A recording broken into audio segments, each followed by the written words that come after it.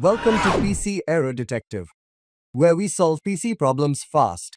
In this video, I'll guide you through the steps on how to reset IP address in Windows 10. If you find this tutorial helpful, please consider subscribing to the channel. Let's get started. Step 1. First, press the Windows key and the R key on your keyboard simultaneously. This will open the Run dialog box. Step 2. In the Run box, type CMD and then press Enter.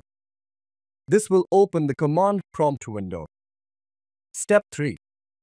In the command prompt window, type the command ipconfig slash release and press Enter. This command will release your current IP address, disconnecting your computer from the network. Step 4. Next, type ipconfig slash renew and press enter. This will request a new IP address from your router and reconnect your computer to the network.